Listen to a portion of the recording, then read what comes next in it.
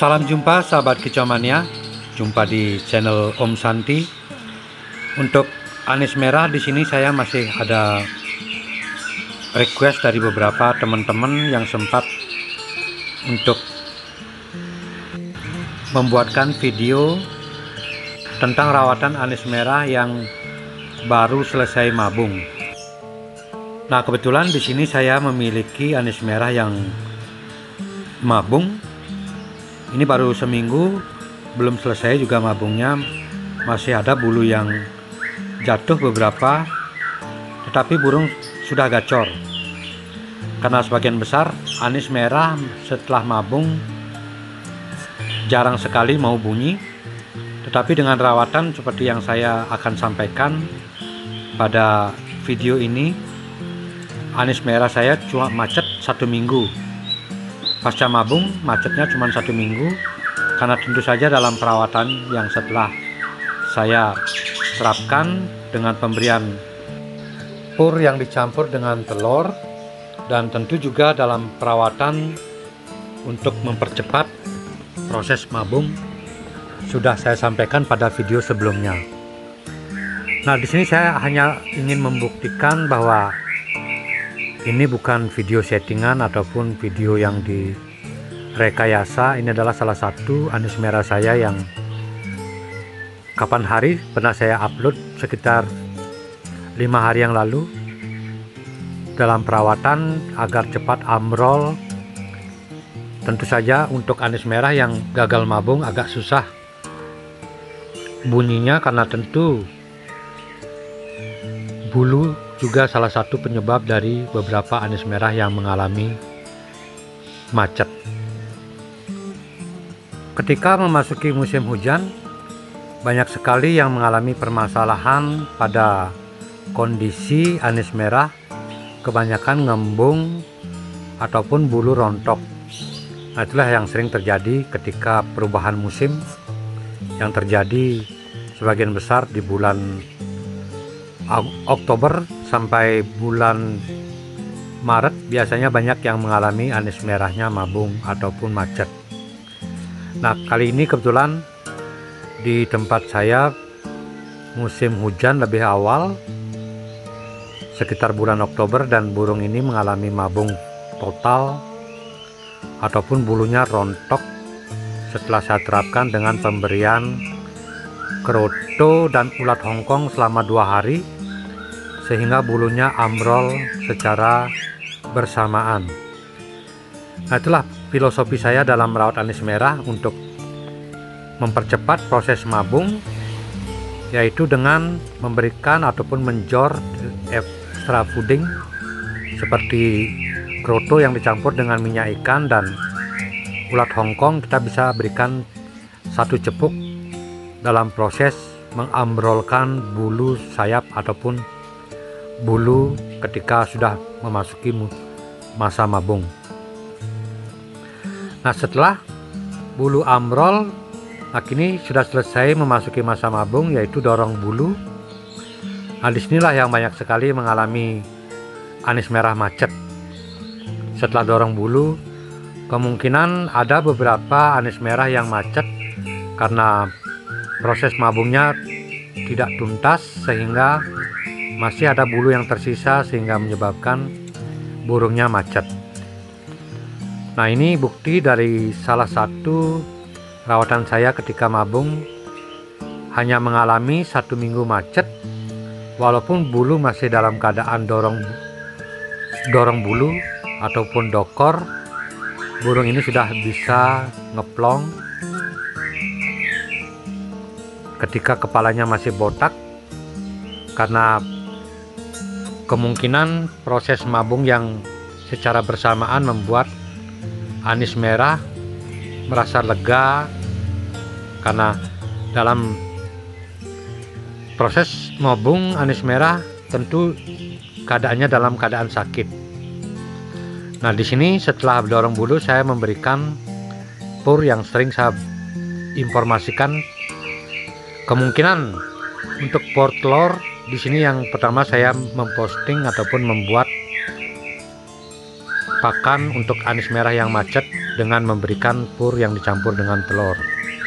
Untuk sahabat kicau mania yang baru gabung di channel saya, bisa simak dalam pembuatan pur telur untuk mempercepat proses bunyi ataupun ngeriwik dari anis merah yang macet ataupun selesai mabung.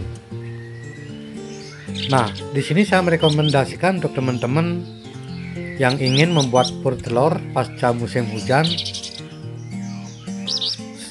sebaiknya pur telurnya disangrai ataupun dioseng-oseng untuk proses yang lebih cepat dan lebih akurat dalam keadaan musim hujan.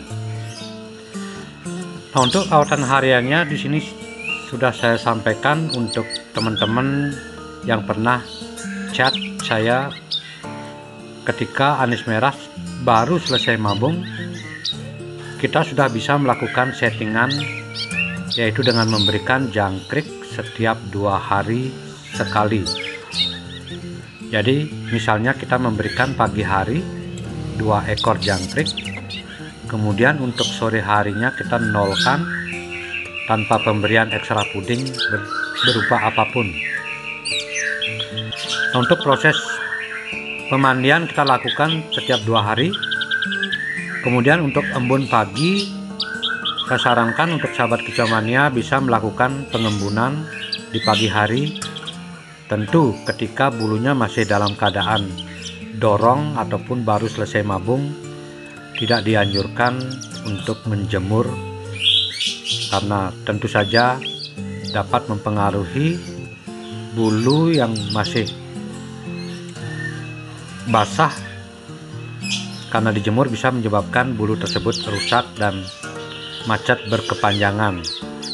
Nah, untuk pemasteran di sini bisa saya sarankan ketika bulu masih dalam keadaan ambrol ataupun pasca mabung, sahabat kicomania bisa menambahkan dengan menempel ataupun mendekatkan burung-burung seperti lovebird, kenari, ataupun jalak rio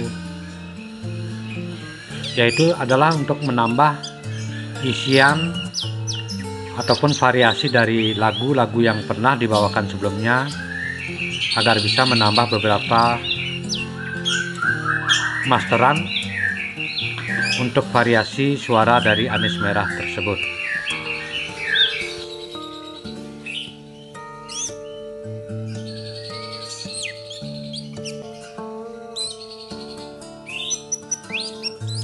Intinya dalam perawatan anis merah di sini saya sangat menyarankan sekali untuk teman-teman apalagi pemula bukan maksud saya menggurui siapa pun agar memberikan ekstra puding jangan terlalu banyak ataupun naik turun.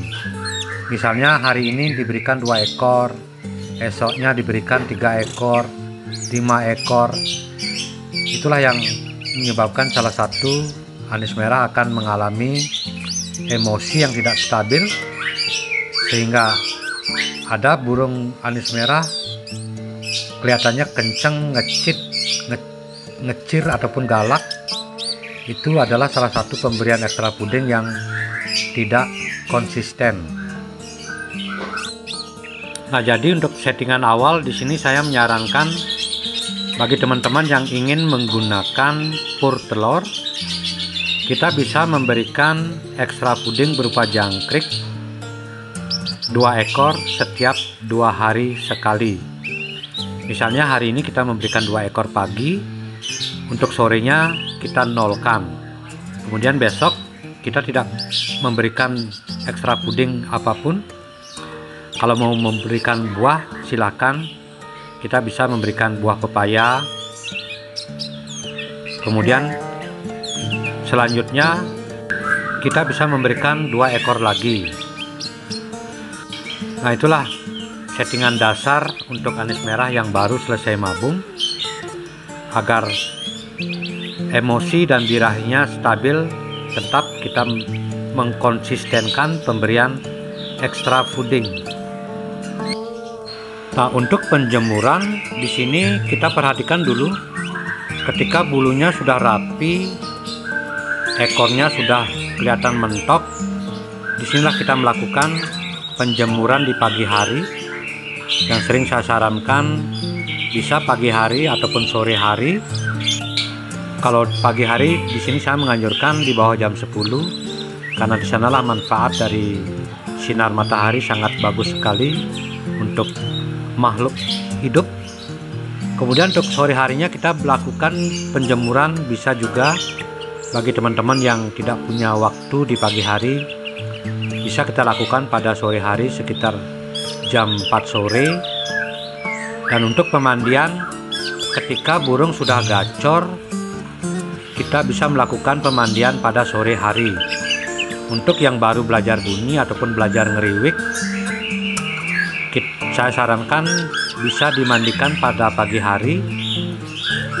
Kita lakukan penjemuran dulu setelah dijemur, diamkan sekitar 20 menit, diangin-anginkan, kemudian setelah itu baru kita mandikan. Nah, selesai mandi, kita kondisikan menyendiri tunggu sampai bulu kering. Kalau sahabat kicomania mau mengkerodong silahkan dalam pemasteran silahkan ataupun ketika burungnya masih giras bisa diablak untuk mencetak mental dari burung tersebut. Semua tergantung dari ketersediaan waktu dari sahabat kicomania nah untuk kanis merah yang galak sepasca mabung ataupun baru selesai mabung itu adalah hal yang wajar. Karena ketika belum tuntas dorong bulu ataupun bulunya masih dalam keadaan basah kebanyakan anis merah tersebut akan ngecir ataupun galak. Nah, itu adalah hal yang biasa tidak usah dirisaukan sahabat kecomania. Kita tidak perlu dengan settingan ini settingan itu kita tetap jalani proses karena galak ataupun ngecir itu adalah hal yang biasa ketika anis merah tersebut baru selesai mabung. Dan biasanya terjadi pada anis merah muda yang mengalami mabung pertama ataupun mabung kedua itu adalah hal yang biasa ketika burungnya galak ataupun ngecir. Tetap kita rawat konsisten dengan pemberian ekstra puding yang teratur disiplin maka niscaya burung akan cepat bunyi. Nah demikian sahabat kecomania, semoga bisa bermanfaat karena di sini saya hanya berbagi pengalaman sesuai dengan apa yang saya tekuni dalam merawat anis merah. Karena anis merah bagi saya adalah salah satu burung yang saya kagumi dan sampai sekarang saya tetap memiliki untuk rumahan Kemudian untuk murai batu di sinilah saya menangkarkan ataupun berternak murai batu silangan khusus di seri F. Sampai jumpa. Terima kasih banyak untuk teman-teman yang baru gabung di channel saya. Jangan lupa komen, like, dan subscribe agar wawasan saya bisa lagi menambahkan beberapa tambahan-tambahan tentang perawatan anis merah dan murai batu. Terima kasih.